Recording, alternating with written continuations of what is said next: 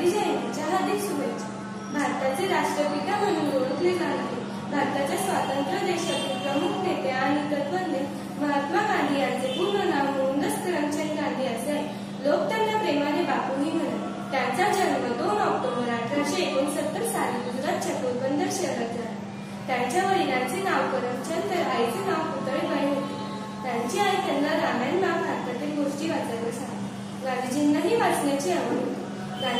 प्राथमिक शिक्षण राजकोट तर गांधीजींचे प्राथमिक शिक्षण पोरबंदर तर माध्यमिक शिक्षण राजकोट येथे पूर्ण झाले.